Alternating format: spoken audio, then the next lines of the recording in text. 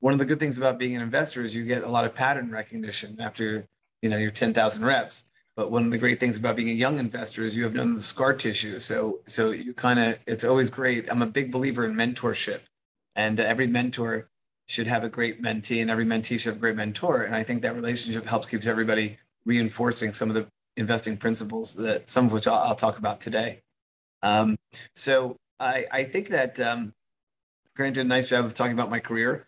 Um, you know, I think that uh, uh, you know getting a job is really difficult, and um, you should not be discouraged. I uh, I was uh, considered a non-traditional candidate coming to Wall Street because I went to the University of Texas, which just means I didn't go to an Ivy League school, and uh, that was that I got 26 rejection letters. Um, and now all of those firms are, are clients, which I think are, I'm a client of, which is kind of funny since I couldn't get a job there.